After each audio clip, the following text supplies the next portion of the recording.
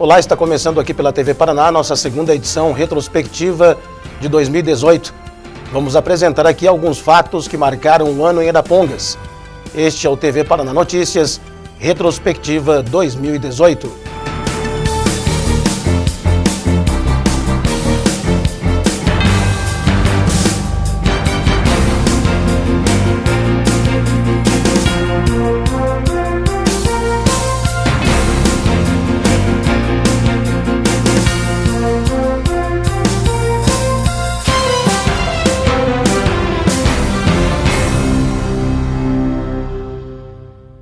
Meados de junho de 2018, a Polícia Civil conseguiu identificar três motociclistas suspeitos de envolvimento no acidente que matou o ciclista Diego Henrique de Oliveira da Silva, de 25 anos, na manhã do dia 9 de junho, na zona sul da cidade. A polícia investigava o caso para esclarecer se o motorista de um Golf envolvido e os motociclistas participavam de um racha.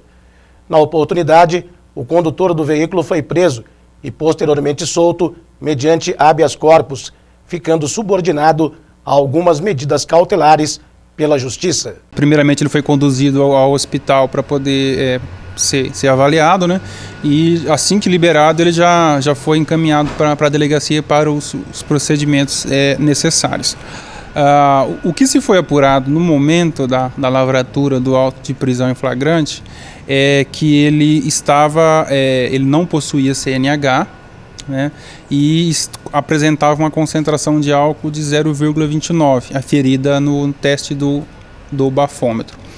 No momento da lavratura do auto de prisão em flagrante, ele foi autuado por homicídio culposo na direção de veículo, com uma majorante de pena por ele não possuir CNH e por ele estar também assim, sob a influência de álcool. Posteriormente, a, a lavratura né, começou a ocorrer na, na, nas redes sociais, nos, nos, grupos aí de WhatsApp, é, alguns áudios e dando conta de que possivelmente ele estaria participando de um, de uma, de um racha, né, de, um, de uma disputa na, na via pública.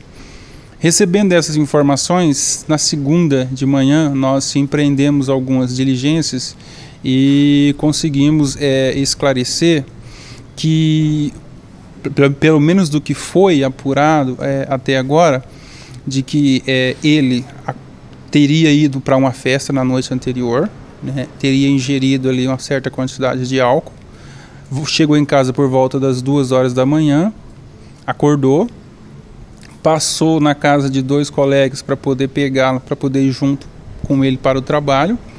Num determinado ponto do percurso, pelo que se apurou até agora, é, ele teria passado dois motoqueiros por ele, que teria acelerado e chamado ele para uma disputa. Ele teria se sentido, é, assim, desafiado e saiu em perseguição a essas duas motocicletas né, em, em alta velocidade. Num, pelo que se apurou, num dado momento, tanto as motos quanto ele, quanto ele que vinha atrás se deparou com outro grupo de motoqueiros é, as motos que iam à frente conseguiu desviar desse grupo e ele não. No momento que ele acabou colidindo em, em uma das motos, perdeu o controle, bateu em um poste, acabou arrancando, acabou colhendo a vítima na calçada e ocasionando o, o óbito dela quando lançou contra o poste. Bom, a prisão ela não aconteceu por crime de trânsito, né? Ela aconteceu por, em princípio, ela aconteceu por crime de trânsito. Aí, depois disso, com as novas informações, nós fizemos essas diligências para poder esclarecer se efetivamente havia é, essa disputa, essa disputa de racha em via pública. Por quê? Porque é, em se constatando isso, né, com outros elementos, é, ingestão de álcool, não possui CNH, não está habilitado, é, é possível é, o indiciamento aí pelo crime de, de homicídio doloso na modalidade dolo eventual. Aí sai do Código Brasileiro de Trânsito e entra no, no Código Penal. Bom, nesse caso, tanto ele, condutor do veículo, posteriormente o atendimento médico, como também o condutor da motocicleta foram ouvidos pela polícia? Sim, o condutor da motocicleta nós conseguimos ouvir, identificar e ouvir na data de hoje ele é, a moto foi apreendida né, para ser periciada. Ele nega que tenha partes que estava participando de racha, mas assim, o, o, condutor da motocicleta já, já foi identificado. Bom, também o motorista do veículo nega essa questão do racha. Né? Sim, ele, ele nega essa, essa questão. mas nós temos assim é, elementos é, de provas é, testemunhal até pelas pessoas que estavam é, dentro do veículo com ele, de que houve sim esse essa, esse princípio de, de disputa de racha em via pública. O condutor do veículo, doutor, ele pode responder também pelas lesões sofridas por uma das pessoas, um, um dos passageiros desse veículo que acabou sofrendo lesões graves? Sim, é, nós conseguimos identificar na segunda-feira que um dos, do, dos passageiros do veículo, do, do condutor, autor, ele sofreu uma, uma fratura de perna, né, de tibia e fíbula, deve ficar aí é, impossibilitado aí de trabalhar por um bom tempo, então ele vai responder por essa lesão corporal também. E também em junho de 2018, mais de 30 pessoas estiveram na delegacia de Irapongas para registrar denúncia de estelionato contra uma empresa de eventos. As vítimas contrataram serviços para festas que não foram prestados. A empresa foi fechada e o proprietário deixou a cidade. Olha, uh, nós estamos em fase de inquérito policial, estamos ainda ouvindo as vítimas.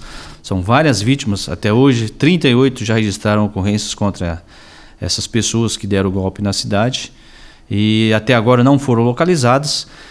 Creio que com o encerramento do, do inquérito policial a gente possa então representar pela prisão preventiva desse casal. Essas pessoas então continuam sendo ouvidas pela polícia? Todas as vítimas estão sendo ouvidas, como são muitas vítimas, né? Nós estamos agendando para que sejam ouvidas, aferir o valor de, de prejuízo de cada uma para ver o montante do golpe que eles deram. Bom, o golpe é, foi um golpe com relação a vários eventos, né? Como casamentos, aniversários, enfim, pessoas que tiveram aí foram lesadas e não foram atendidas com os serviços que foram contratados. Isso, eles abriram uma empresa aqui, se dizendo é, prestador de serviço para festa de aniversário, buffet de casamento e entre outros. É, realizaram algumas festas para pregar confiança com, com os demais clientes e conseguiram captar uma boa quantidade de pessoas, que elas, elas depositavam dinheiro para eles para uma festa futura. E de uma hora para outra, no momento que eles conseguiram fazer uma arrecadação substancial, fecharam a empresa e sumiram. Bom, até agora não se tem o paradeiro deles, né? Não, estão sendo procurados, nós não, é, não temos conhecimento onde é que possam estar, é, mas é o que te disse, nós precisamos concluir o inquérito e se até lá não forem encontrados, é um, um dos pressupostos para a gente pedir a prisão preventiva. Você acredita que mais pessoas tenham sido lesadas, doutor? Pode haver mais pessoas que ainda não procuraram a delegacia para fazer a ocorrência. Né? Nós temos um, conseguimos fazer a apreensão de um, de um rascunho lá na, na, empresa, onde consta alguns contratos, então nós vamos verificar se essas pessoas já compareceram na delegacia ou ainda não fizeram a ocorrência. Você tem conhecimento de que o golpe, de repente, não tenha sido aplicado apenas aqui em Anapongas? Acredito que eles possam estar agindo em outras localidades, né? conforme se apurou até agora, são oriundos de Minas Gerais. Nós estamos entrando em contato com a Polícia de Minas Gerais para ver se eles já possuem lá antecedentes de crime dessa modalidade. Bom, as pessoas que se sentirem lesadas devem procurar então a delegacia. Isso, procurem a delegacia para formalizar a ocorrência, justamente para a gente verificar é, o montante que é, as pessoas é, no total foram prejudicadas aqui. E confira a seguir no Retrospectiva 2018, a Associação das Damas de Caridade passou a ser denominada Maria Edna Graçano.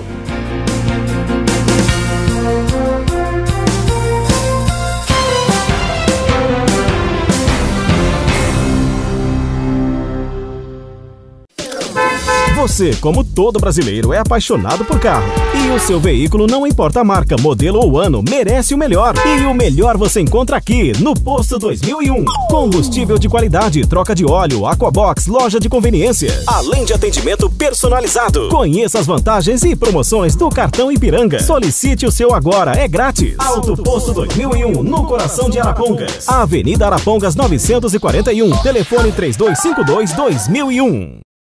Nossa lista agora de cara nova. Sinônimo de praticidade e rapidez. Chega a sua nona edição e é com essa alegria que nos dedicamos na elaboração dos nossos catálogos. Não fique de fora. Anuncie, divulgue sua marca. Nossa lista é um lugar de bons negócios. Link, peça uma visita sem compromisso. Teremos o maior prazer em atendê-los. Nossa lista, esta é nossa e você não pode ficar de fora.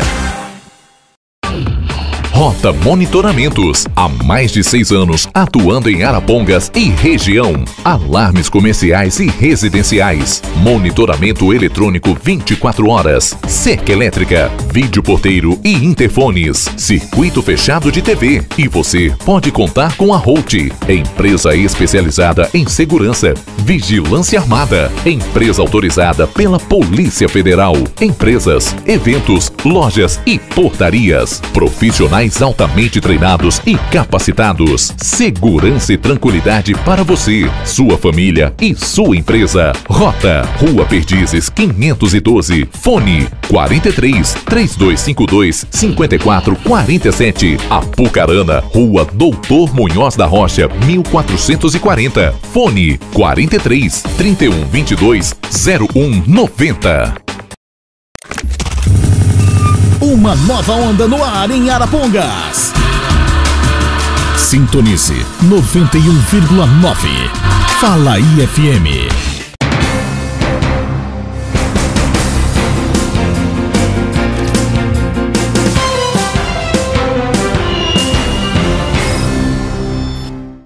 E em julho de 2018, a Associação das Damas de Caridade de Arapongas realizou uma cerimônia em homenagem à senhora Maria Edna Graçano.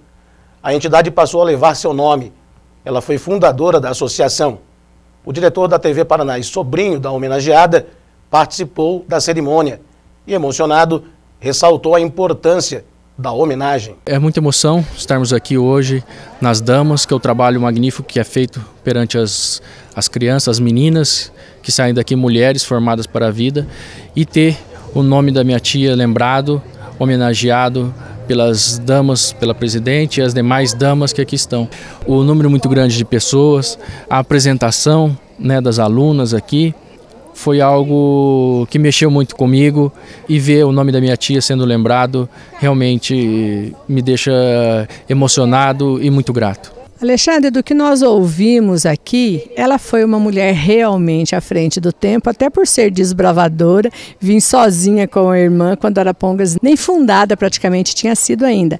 Você sempre percebeu esse lado dela de ser essa desbravadora em tudo aquilo que ela se, se lançou nessa vida? Sim, era, era a marca, a marca da minha tia era muito forte. Ela sempre buscava desafios, ela era destemida. No dia a dia, na convivência dela, ela buscava coisas novas. Não importava se ela estava com 90 anos, ela estava pensando que ela fosse até os 120, 150 anos. Então é, era a marca dela. Era a marca dela criar as damas, fazer as damas fortes. Sempre ela teve, veio para o Paraná muito cedo, é, jovem, enfrentando todas as barreiras de de homens que aqui tinham muito mais do que mulheres, mas ela enfrentava. Depois ela foi para o lado político, eleita três vezes vereadora nos anos 50, onde as mulheres não eram vistas na política. Foi uma das primeiras vereadoras eleitas do Paraná, né, aqui em Arapongas, durante três mandatos.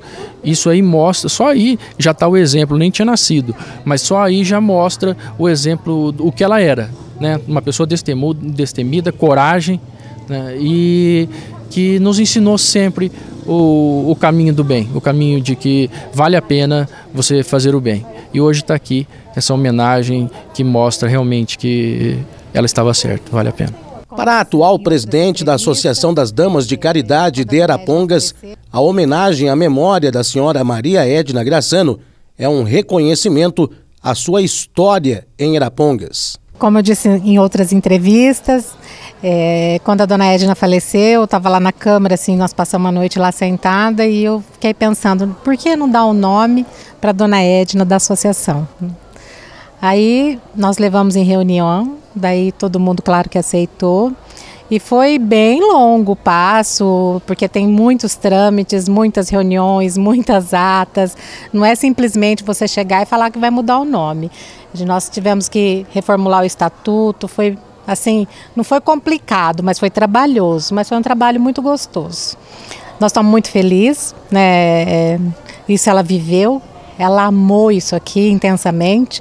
O Alexandre também falou ali na fala dele. Ela amou tanto que uma parte da herança ela deixou em testamento uma parte aqui para a associação. Isso é amar, isso é gostar da associação. Eu sou muito feliz em ser presidente, gosto muito de estar aqui Eu já falei que eu já perdi as contas de quantas vezes eu fui presidente, mas estamos aqui lutando por essa casa e eu estou muito contente com essa homenagem com a dona Edna.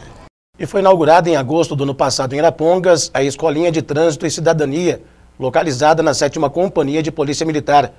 Alunos do ensino fundamental de escolas públicas e particulares participam de atividades práticas e teóricas visando a conscientização para o trânsito. O mês de agosto é um mês muito importante para a Polícia Militar. No dia 10 de agosto, nós comemoramos o aniversário de 164 anos da nossa instituição. É uma instituição que é marcada pelos desafios. O policial militar lida com conflitos, é, coloca a sua vida em risco para proteger a, a, comunidade. Então, nada mais importante que enaltecer essa corporação tão importante para a comunidade, tão importante para a cidadania, para a democracia.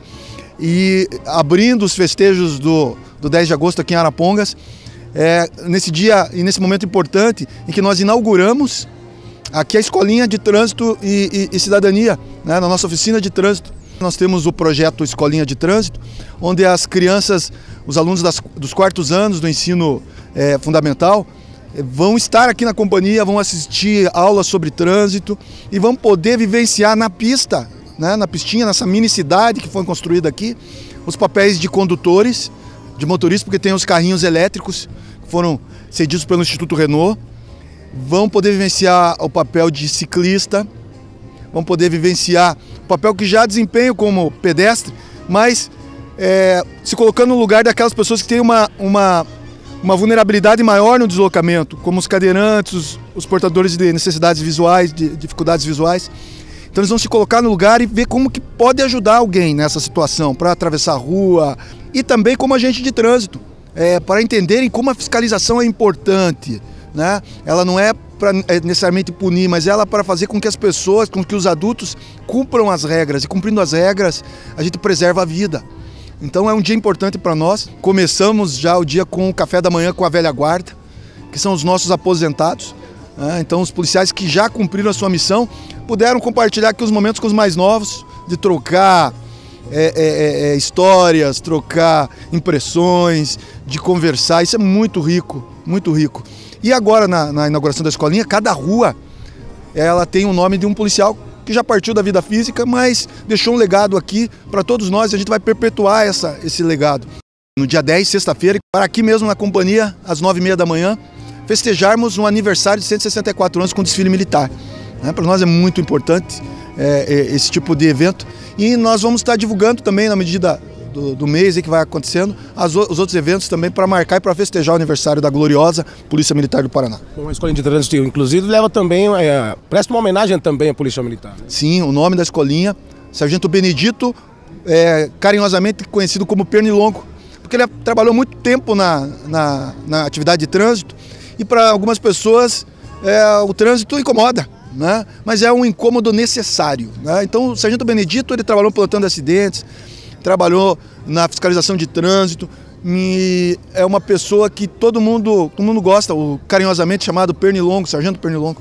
Então nada mais justo e significativo para nós do que emprestar dele o nome e batizar a nossa oficina de trânsito. Bom, a escolinha também é uma realidade em virtude de várias parcerias também, né, comandante? Exato, é um trabalho comunitário, efetivamente. Desde o planejamento, a construção. Então a prefeitura municipal de Arapongas, a Guarda Municipal, que é a nossa parceira no, no projeto da Escolinha de Trânsito, são policiais e guardas municipais que fazem o processo pedagógico com, com as crianças.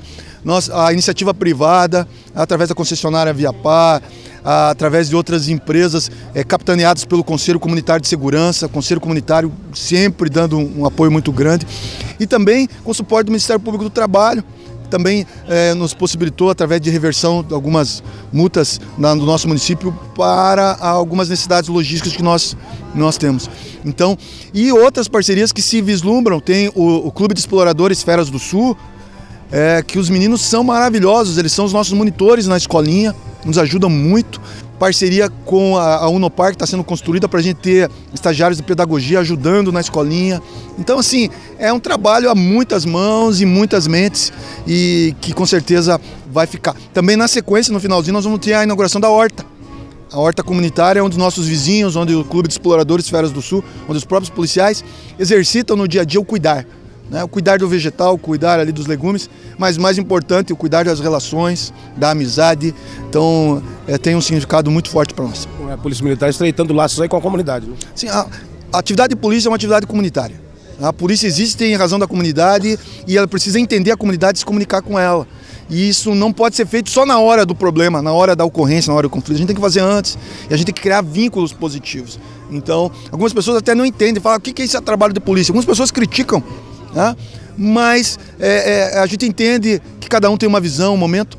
E é, é um, a gente não pode falar de medicina se a gente não é médico. Mesma coisa, para falar de segurança pública, é importante entender um pouquinho e, é, e é fundamental na segurança pública ter relação. Muito mais do que prisão. As cadeias estão cheias e não está resolvendo nada. Nós prendemos as pessoas é, é, é, repetidas vezes e não tem resolvido muito. Então a gente tem que trabalhar outras questões. E a, a geração que trabalha aqui, com certeza, é, vai ser um trabalho preventivo efetivo. O presidente do Conselho Comunitário de Segurança de Arapongas destacou a importância desta conquista, que, segundo ele, com certeza vai contribuir para que tenhamos no futuro um trânsito mais seguro. Isso daqui é o exemplo, né, o exemplo mais concreto da união das forças de segurança de Arapongas, que envolve SAMU, bombeiros, Polícia Civil, Polícia Militar, é, Guarda Municipal, Conselho de Segurança. Essa união resulta em projetos, não só o projeto, e a concretização do projeto. Essa escolinha aqui vai ser a melhor do Paraná, tanto em espaço, a estrutura, né? e a gente tem que pensar nisso daí é aquilo que a gente sempre fala. A educação no trânsito, nós os mais velhos, é, alguns têm seus defeitos, mas as crianças, elas que vão ensinar os pais, olha, aqui é a faixa de pedestre, olha é, a guia rebaixada. Então está de parabéns aqui a Guarda Municipal, a Polícia Militar, o Capitão Fonseca, que foi uma iniciativa dele, que teve apoio daí do prefeito, o Instituto Renault, que doou esses três carrinhos elétricos, então, a, o Ministério Público do Trabalho de Londrina, que através de um convênio destinou uma verba aqui para Pongas, né? através do a verba veio para o Conselho de Segurança, compramos aquele Ford K, é, bicicletas, equipamos aqui. Então está de parabéns todos os envolvidos e que com certeza, se tivesse a mentalidade por muitos e muitos anos, Arapongas, em, em, questão de segurança, vai estar sempre sendo privilegiado. Já o secretário municipal de Segurança enalteceu a importância das parcerias para que o projeto se tornasse uma realidade, reforçando Arapongas como referência no desenvolvimento de ações de educação para o trânsito. É, veja só, o município já desenvolvia algumas atividades né, na educação de trânsito. Nós até ontem funcionávamos em parceria com a Guarda Mirim, que nos cedeu espaço. Mas isso aqui foi um avanço, né? Foi uma conversa que surgiu há uns quatro meses atrás no gabinete do prefeito Sérgio Nofre. Capitão Fonseca, estava Oliveira da Guarda, eu, Argati, tinha mais algumas pessoas. No mesmo dia o prefeito já ligou para a Viapar, a Viapar já se predispôs a ajudar. E as demais parcerias aí, né, com a Fundação Renault, com o Ministério Público do Trabalho, Conselho Comunitário. Em menos de quatro meses aí, estamos inaugurando aqui o que eu creio que seja a mais moderna e mais completa escolinha de trânsito do Paraná. É uma estrutura realmente impressionante. Né? Impressionante, o município praticamente não teve, não gastou um centavo aqui, a não ser a boa vontade né, do prefeito e toda a sua equipe a Polícia Militar com esforços policiais militares aqui ajudando na adequação do espaço. Então tudo aí com, com, com doações e parcerias aí que, que agilizaram aí a, a construção desse espaço. Uma ação também que vai ajudar muito aí, secretária, a formar cidadãos mais conscientes. Né? É, a segurança pública, por mais que você tenha recursos adequados, como hoje a Polícia Militar está com a frota praticamente renovada, a Guarda Municipal com frota nova, todo mundo bem armado, é, fizemos assim, um aparato repressivo muito bem colocado, não se resolve em termos de segurança pública. A segurança pública só, só vai ter assim, uma solução concreta e positiva com a educação. Bom, isso daqui exemplifica também esse, essa união das forças de segurança. Isso, toda, toda as forças, a cidade na realidade está bem unida, né? As parcerias com o Ministério Público, com o, Ministério, com o Judiciário, a imprensa, acho que todo mundo trabalhando bem. Na hora que criticar, tem que criticar, tem que falar mesmo que a coisa está errada para melhorar cada vez mais, mas essas parcerias resultam nisso, né? O município tendo uma, uma excelente aquisição, sem praticamente onerar os cofres do município. E aconteceu também em agosto de 2018 o nono Congresso Nacional Moveleiro. Realizado pela primeira vez em Arapongas, o Congresso teve recorde público e de negociações principalmente negociações internacionais. Os números mostram absoluto sucesso. Né? É, nós tivemos um recorde de público e, além disso, Terry, nós tivemos recorde de negociações, por exemplo, na área internacional. Né? Nós tivemos aí os, os, os, compradores internacionais com as empresas exportadoras, foram mais de mil rodadas de negócios internacional. Tivemos as rodadas de, de negócio nacional também, promovida pelo Sebrae, que foi sucesso absoluto. Então nós estamos muito satisfeitos com, com, com tudo. A qualidade das palestras também superou as nossas expectativas. É, a comissão organizadora, nós fomos muito felizes é, na, na seleção dos palestrantes, dos temas, né? Eu acredito que o, que o setor moveleiro de Arapongas é, ganhou muito com esse congresso, que foi assim um marco realmente na, na, na, na, realização de eventos do setor moveleiro. O Congresso Nacional Moveleiro ele estava sendo realizado em Curitiba e Curitiba é uma bela cidade, a nossa capital, tem muitas atrações, a logística para lá é muito mais fácil do que vir para Arapongas, né? Mas aqui é o berço do, do moveleiro, né? Aqui na nossa cidade, Arapongas, ela respira móveis, né? E isso, né, sem dúvida nenhuma, foi um ganho substancial, tanto para o evento Congresso Nacional Moveleiro, quanto para o setor moveleiro araponguense e da região. E, além disso, nós eh, já estamos marcando a, a, a décima edição do Congresso Nacional Moveleiro. Estamos fixando a data já para 3, 4 e 5 de setembro de 2019, é, paralelo à segunda mostra móveis. Bom, isso é indicativo de que seja essa décima edição, inclusive a segunda, a segunda mostra aqui em Arapongas. Sim, aqui em Arapongas, lá no Espoara. Né? O Espoara, acho que você teve a oportunidade de ver, o pessoal teve a oportunidade de ver, ele teve um upgrade muito bom, né? Ficou fantástico aquela área de recepção ali. Realmente ficou parecendo realmente um pavilhão de eventos, né? Não é mais um barracão e tal. Realmente um pavilhão de eventos fantástico. Eu acho que nós araponguenses podemos nos orgulhar de termos esse empreendimento aqui em Arapongas que realmente é, nos capacita e no, nos capacita a trazer eventos cada vez mais relevantes para o setor e, e, para outros setores também, porque não? Setor de alimentos, de automóveis, enfim, nós temos um, um, um pavilhão fantástico que está tá capacitado para está habilitado para trazer eventos de grande porte. Bom, você pretende falar também a respeito de alguns números, presidente, de pessoas que estiveram no local, a participação de lojistas também, inclusive de expositores que estiveram também nesse grande evento. Sim. Nós tivemos é, 4.920 pessoas cadastradas no evento. Dessas, são 73 expositores, é, 810 lojistas e mais 440 representantes comerciais, é, 1.001 colaboradores, né, os colaboradores que trabalham no dia a dia ali e também que auxiliam os expositores, e mais 2.669 participantes, que aí tem lojistas, tem profissionais, tem estudantes, tem, enfim, é, pessoas de, de vários outros setores também que, que circularam por lá. Bom, resultado também de. O esforço aí, o resultado de parcerias, né? Não só da FIEP, mas também de outros órgãos que estiveram participando aí dessa edição do evento. Sim, a parceria para nós é muito importante. Nós tivemos, evidentemente, o Congresso Moveleiro é uma realização da FIEP, né? É um evento oneroso que a, federação faz isso para valorizar as indústrias, valorizar o setor industrial. Nós tivemos uma participação importante, por exemplo, da Abimóvel, que é a Associação Brasileira de Imóveis, a Apex Brasil, que em parceria com a Abimóvel nos nos proporcionou o projeto comprador, onde nós tivemos, era para ter vindo 45, mas vieram 44, um, um, acabou faltando, 44 compradores de 14 países, né, é, negociando diretamente com 68 empresas expositoras, é, exportadoras. Isso é fantástico. Também nós tivemos o apoio do SEBRAE, né, fazendo a, a rodada de negócios nacional, um apoio importantíssimo do, do, do SESI e do SENAI. Nós tivemos ali o projeto entre pregos e cavacos, que é, quem teve a oportunidade de ver é algo fantástico, que você está inserindo o jovem realmente no, no campo profissional. Né? São é, projetos desenvolvidos é, por alunos do SESI e eles, além de desenvolver, eles têm que vender o projeto Então, desses projetos, inúmeros que foram é, que participaram, 10 foram selecionados e eles vieram com o projeto digital, uma coisa já moderna. Né? Ele apresenta o projeto num, com óculos é, de três dimensões e a pessoa visualiza e ele já explica todo o projeto e vende o projeto. Então é fantástico a ideia né, de que, além do, do menino ou a menina ter que aprender, saber projetar um móvel, fazer uh, porque hoje em dia você não precisa fazer o, o, físico mais você pode projetar isso tudo virtual.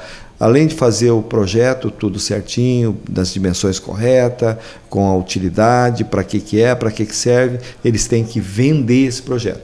Então aquele que vendia vendeu mais e conseguiu mais, mais números de cavacos, que era a moeda que pagava o, o, foi o vencedor. Nós tivemos outras parcerias que também relevantes, né? Nós tivemos os, os alguns fornecedores que nos ajudaram, a Bernec, por exemplo, é, a Starplast daqui, vários outros, eu, eu não vou me lembrar do nome de todos, mas muito importante para nós. O BNDES também nos apoiou, a Fomento Paraná, né? e, e isso tudo formou realmente um, um, E aí é importantíssimo o Espoara, né? o Espoara que nos forneceu o, o espaço, que ajudou bastante e, e, eu acho que houve uma simbiose muito grande, a mostra móveis, né? o, o pessoal podendo já assistir um congresso e também já ver o móvel pronto ali. Foi fantástico. Bom, e a apresentação também de novas tendências, né, presidente? E a questão do design também é muito importante. A gente viu muita coisa nova ali e que se adequa aí à questão do mercado imobiliário, aliás, o mercado imobiliário atual, né? Sim, o, o Congresso ele tem por finalidade maior é, trazer mais competências para os profissionais, para os industriais, para todos que se relacionam com o setor. E nisso nós trouxemos palestras importantíssimas, oficinas que era mais direcionada para o pessoal profissional das indústrias, painéis, né, que onde havia discussão de temas relevantíssimos como design, como tendências é, futuras. É, nós tivemos oficina de, de cores e estampas, oficina de, de pinturas, desculpe, cores e estampa foi num outro evento. E, e enfim, tivemos N oficinas, N é, painéis, palestras, todas de, de altíssima relevância. Para o e-commerce, por exemplo, nós tivemos um painel fantástico que tratou do tema e-commerce com pessoas que de alto gabarito, que entendem realmente o setor, são ícones nacionais no setor, estiveram aqui palestrando e, e, e, e tirando dúvidas do pessoal. Bom, a gente teve lá também a apresentação, presidente, de números aí do mercado moveleiro. Gostaria que o presidente falasse um pouco a respeito dessa situação atual do setor moveleiro. Ano passado tivemos aí um crescimento mesmo que tímido. Se espera para 2018 é, um crescimento um pouco maior. Inclusive também com relação aí à questão de, de, de, da mão de obra também, né? De, temos um aquecimento na contratação de pessoas.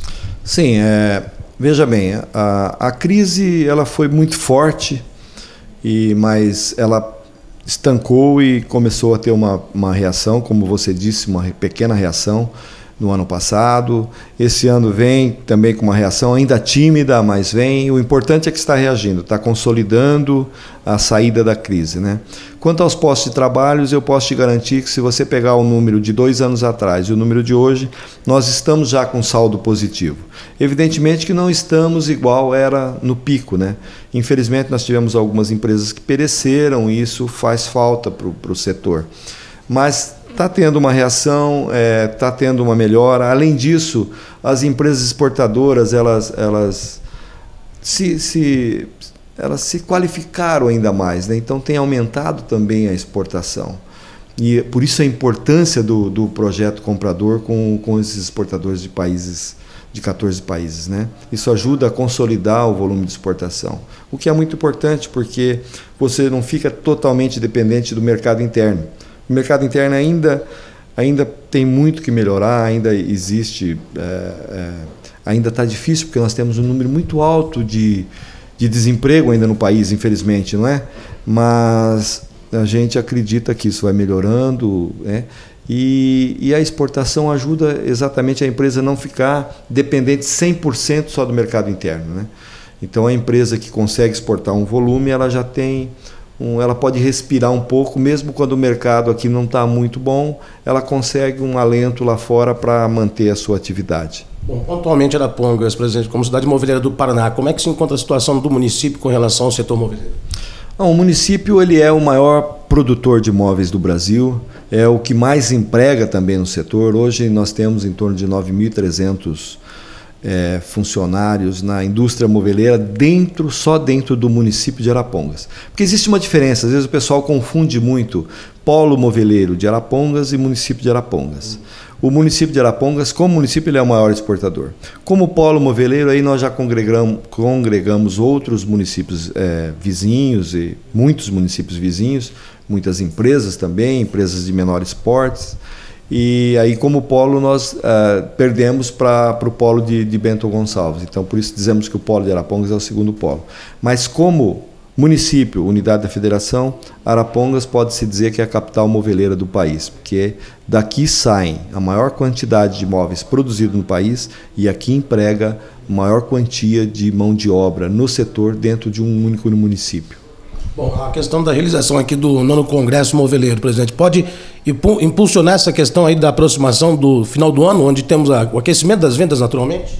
Sim, a gente sempre tem um, o final do ano, o segundo semestre normalmente ele é um pouquinho melhor que o primeiro, existe uma sazonalidade nisso e nós acreditamos que essa reação que a gente comentou há pouco ela continue e que nós tenhamos um segundo semestre melhor que o primeiro e, e que isso venha a trazer mais postos de trabalho que isso ajuda a economia a melhorar, né? Como um todo, se, se, se, melhora o emprego, melhora a atividade comercial, de serviços e industrial, então isso é muito bom para o país. Nós acreditamos sim que vamos ter uma melhora no segundo semestre. Bom, o trabalho não para e vem aí a Movelpar 2019.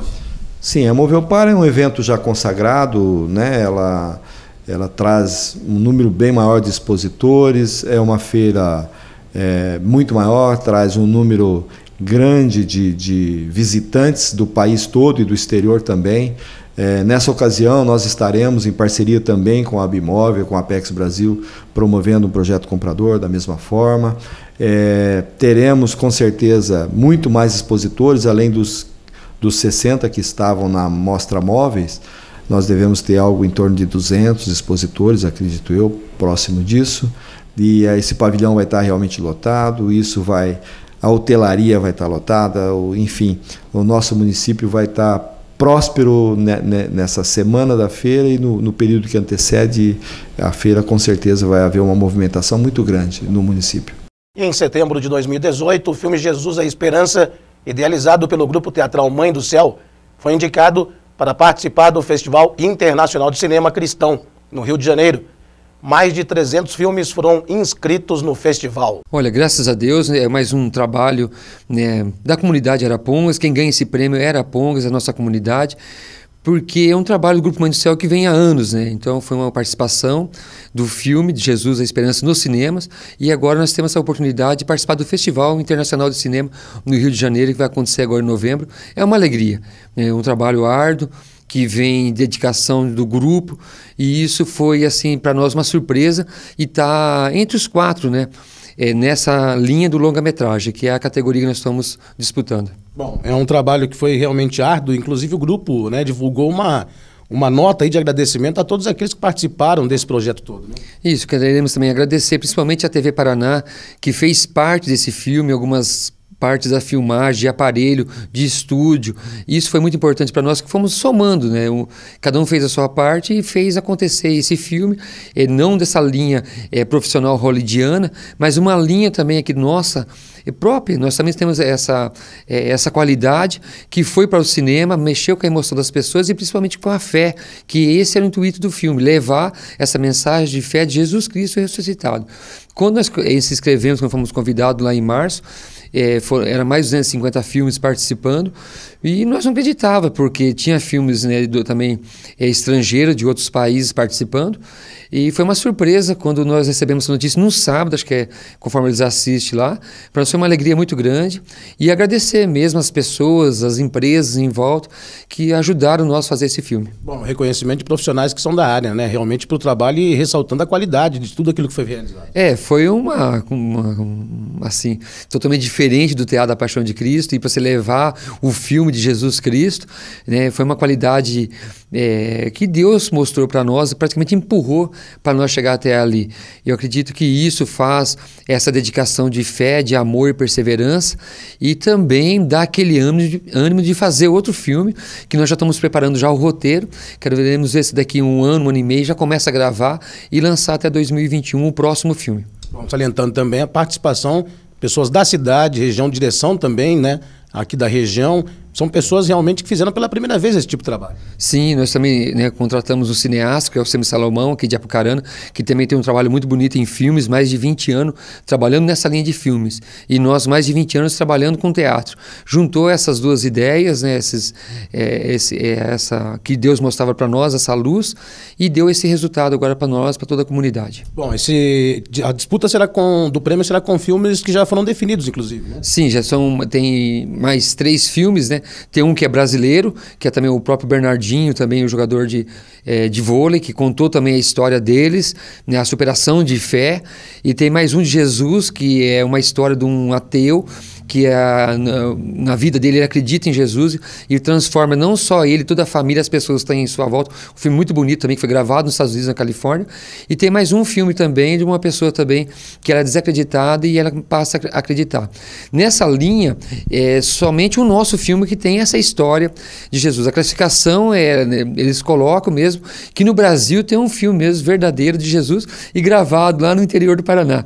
E eles têm essa ideia de não deixar só aqui. Então, então isso também criou esse ano para nós, que é do Rio de Janeiro para o Nordeste, São Paulo e pegar também os países, que nós já tentamos já colocar também na Europa e em outros países, que houve um pouco dessa dificuldade é, por causa de ser filme de Jesus Cristo, não por ser nós mesmo gravando. A gente descobriu que foi isso mesmo. O desafio é muito grande. E não é só em outros países. No nosso próprio Brasil, tomos, estamos tendo é, dificuldade de divulgar o filme de Jesus Cristo. Bom, voltando um pouco, então, a experiência foi tão boa que o pessoal já se prepara aí para uma uma nova missão? Sim, nós temos, temos dois projetos, praticamente temos dois filmes, né, dois roteiros. É, mais um épico, é, seria mais ou menos do mesmo estilo do filme de Jesus, contando agora como se fosse em minissérie, com temporadas, igual tem esses filmes aí no Netflix. Nós temos uma estrutura para esse estilo de filme. Ou um filme também contando a realidade de hoje, acreditando que através da nossa fé, na nossa busca em Deus, possamos mudar a nossa vida. Eu, nós temos duas histórias preparadas para isso. E nós temos é, toda a estrutura de figurino, de, é, de pessoas pessoas em volta para trabalhar em cima e estrutura para trabalhar em cima de, de, desse estilo. E lembrando um detalhe muito grande do nosso filme que é falado no Rio de Janeiro, que nós não temos é, financiamento do dinheiro público né, do Ministério da Cultura ou de dinheiro de empresas. Nós temos o quê? Pessoas daqui mesmo que fizeram esse filme acontecer. Ele não entra nem mais como voluntário, entra com uma estrutura de filme mesmo, feito com recursos próprios. Então isso também ajudou muito nós também, que dá para provar que as coisas dá para ser bem feito e honestamente, como nós estamos passando agora por esse, por esse final desse resultado desse filme. E fica aí a torcida agora para participação. Né? Olha, já é, uma, é um prêmio, fala, está entre os quatro aí, já participando, já é. Falei assim, para que para nós. Tá, se vier o primeiro lugar, segundo, terceiro ou quarto, é uma premiação. O mais importante de tudo isso aí é que o filme Jesus da Esperança está ficando conhecido e está tomando um leque muito maior. Em novembro de 2018, a Polícia Civil de Irapongas conseguiu prender um empresário da Ponguense acusado de mandar matar um ex-funcionário. Ele seria mandante do homicídio que vitimou o motorista da coleta seletiva de lixo, Fernando Begali dos Santos, de 30 anos, no distrito de Aricanduva.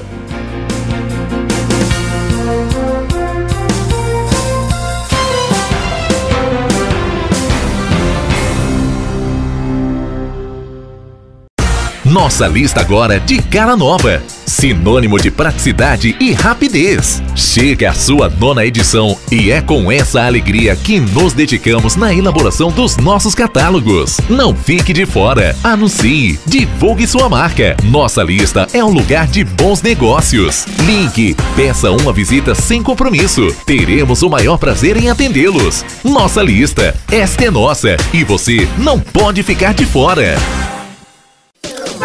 Você, como todo brasileiro, é apaixonado por carro. E o seu veículo, não importa a marca, modelo ou ano, merece o melhor. E o melhor você encontra aqui, no Posto 2001. Combustível de qualidade, troca de óleo, Aquabox, loja de conveniência. Além de atendimento personalizado. Conheça as vantagens e promoções do cartão Ipiranga. Solicite o seu agora, é grátis. Alto Posto 2001, no coração de Arapongas. Avenida Arapongas 941, telefone 3252 2001.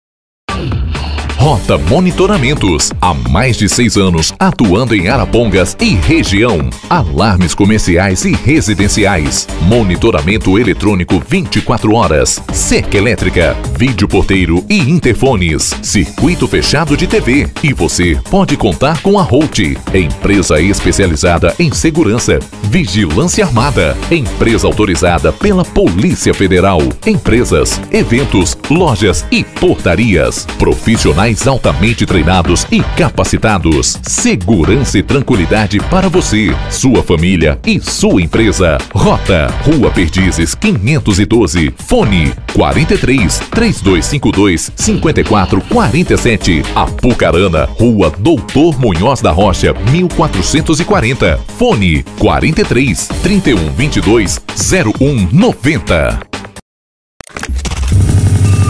Uma nova onda no ar em Arapongas.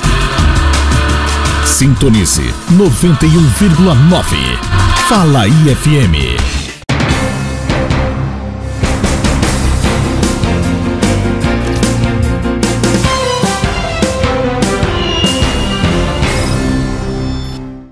E em dezembro de 2018, o filme Jesus é Esperança foi premiado em duas categorias no Festival Internacional de Cinema Cristão o filme, idealizado pelo Grupo Mãe do Céu, venceu em duas categorias: melhor direção e melhor figurino. É, foi uma benção. Né? Primeiramente, quero agradecer toda aqui a equipe da TV Paraná, ao Alexandre Graçano, diretor, pela oportunidade né, de ajudar nós a fazer esse filme. Foi um trabalho em parceria com a cidade de Arapongas, com a comunidade. É um trabalho do Grupo Mãe do Céu há mais de 20 anos né, de evangelização. E agora nós chegamos a esse resultado final. É, quatro indicações né, de de prêmios e levamos dois prêmios, né, que é o melhor figurino e a direção e arte. Então isso foi muito importante para o filme Jesus da Esperança e isso traz para nós esse momento. E são pessoas que estavam envolvidas nesse Festival Internacional de Cinemas, são pessoas é, ex-artistas globais, pessoas envolvidas também em cinema e teatro, que montaram esse festival para valorizar as pessoas que é, que fazem seus filmes que eles têm essa meta. O filme não pode ficar na gaveta. Foi isso que eles falaram lá.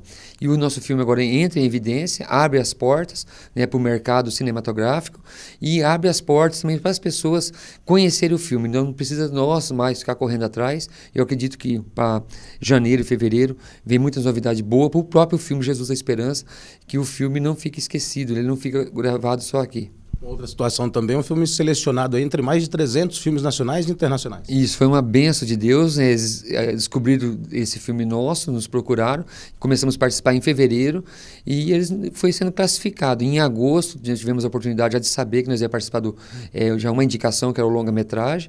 E depois, na sequência, já veio o melhor roteiro né, indicado. E depois o figurino e a direção e arte. A direção e arte é aquela quando você assiste o filme e a, ele traz a emoção para você. E nós conseguimos trazer esse, essa emoção para a tela. Então foi, foram assistidos esse filme nosso, como os outros filmes, e foi classificado é, entre filmes de outros países, como a Europa, né, os Estados Unidos, estava ali participando. Bom, é, foi um trabalho muito minucioso né, com relação a essa questão de figurino e um trabalho importante também da direção do Semi Salomão. Nossa, isso foi muito importante, né, do cineasta que esteve trabalhando junto conosco, e isso fez essa somatória dentro do, do, do, trabalho, do projeto que tinha o Mãe do Céu Filmes, e o figurino, né, Dona Maria Comar, aqui em Arapongas, né, ela começou todo essa, esse trabalho junto conosco, a finada Naide na época, o Antenor, esse pessoal veio vendo esses detalhes, e a Dona Maria Comar, ela tem uma visão, né, que você mostra para ela, oh, eu preciso disso para montar uma cena. Em menos de 48 horas, ela te entrega pronta as peças, aquela loucura. E, e tudo começou na casa dela, na época era no apartamento. Hoje nós temos todo aquele ateliê, aquele, as mulheres, a equipe dela costurando que consegue finalizar esse trabalho. Isso deu, deu resultado. Com relação ao filme, Ele deve retornar aos cinemas com relação à TV aberta? Como é que está isso? Agora, a partir de. Como a Páscoa em abril, nós estamos com um espaço legal para trabalhar na divulgação dele. Nos cinemas, acredito que ele volta, mas acho que não na nossa região mais. Mais o norte e o nordeste, que ele vai trabalhar bem aqui no Brasil. E há outros países também que vão, principalmente aqui, é Argentina, Chile, México. Acredito que nós vamos passar, que já está sendo legendado em outras línguas, como inglês, espanhol. E já é certo que essa, essa legenda já está saindo no filme. E a, depois ele entra nos canais, né, como já tem algumas emissoras é, de TV de grande nome nacional, está interessado em pegar. Isso é muito bom porque nós não fechamos o contrato com ninguém, então ela está aberta para quem quiser passar. Então, tanto uma TV grande como uma TV regional, ela pode passar o filme. Existe também um objetivo de colocar o filme de repente em DVDs? Sim, já está também já está sendo produzido já tanto a capa como os discos com código de barra que ele vai entrar nas lojas e essas revistas é, que de assuntos religiosos também vão fazer uma parceria. Alguma, duas nós estamos já em contatos, que é a revista Terra Santa e a revista Família Cristã, fazer uma parceria com eles de sugestão que a gente deu, a pessoa fazer a assinatura e vem junto o DVD. Bom, é 20 anos do grupo Mãe do Céu, né? Se encerra 2018 aí curado de êxito? Olha, esse ano nós tivemos bastante coisa, né? Fora a chuva, como sempre, mas graças a Deus, eu acredito são 20, estamos partindo para 22 anos de paixão de Cristo, 22 anos de evangelização.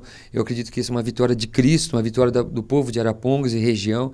E fechamos 2018 com chave de ouro. Né? Eu acredito que a missão está feita, é, foi realizado. Esse prêmio foi muito, é, veio na hora certa, principalmente para o filme mesmo.